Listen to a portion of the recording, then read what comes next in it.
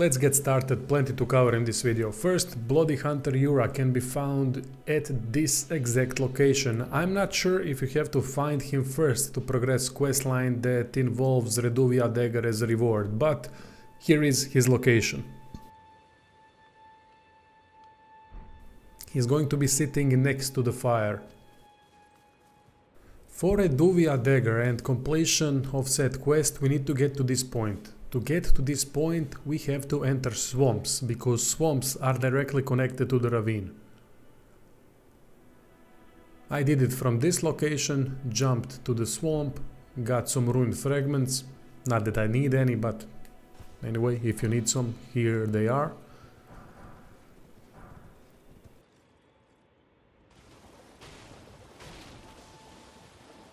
Now go down the road and there will be an NPC invading you.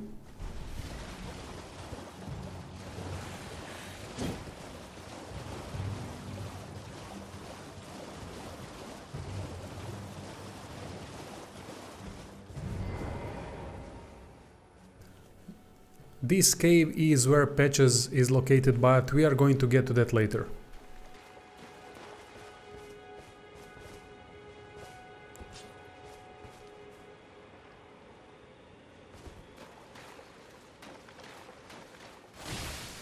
After NPC has invaded you, Bloody Hunter Yura will also join the fray.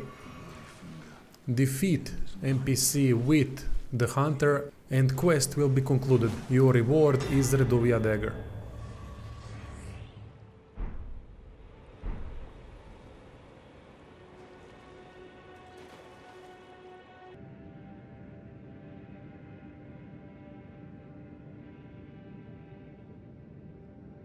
As for patches, we need to get inside this cave and get to the very end of it. Simply go forward, get to the chest, you are not going to get anything, it's at the end of the cave, it's just a mushroom, doesn't matter. And now head back. Upon heading back, gold mist is going to appear.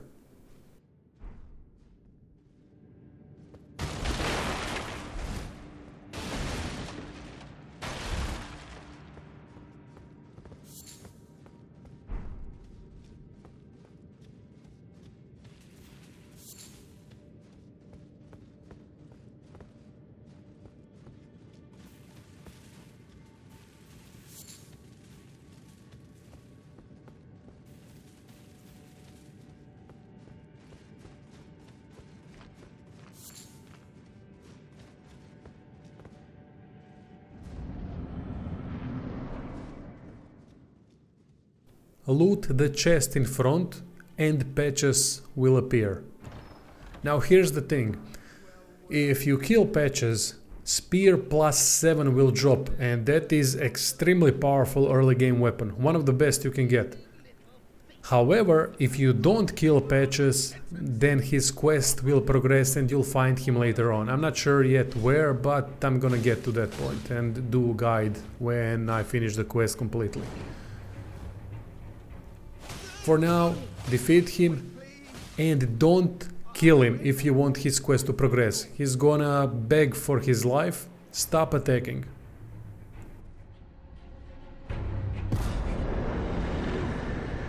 Well, finally come round, have you? I knew you would. You're a man of reason. True and true.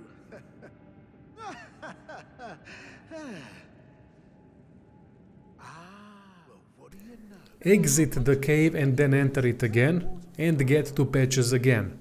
After that, shop is going to be open and you can purchase stuff like stone sword key, cookbook and some other stuff. That's just few of probably many good reasons to keep patches alive. Then again, you get spear plus 7 if you kill him, and that is quite powerful early on.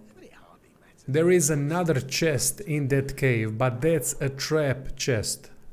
It is going to teleport you outside of cave if you open the chest, so there's no need to get that chest open.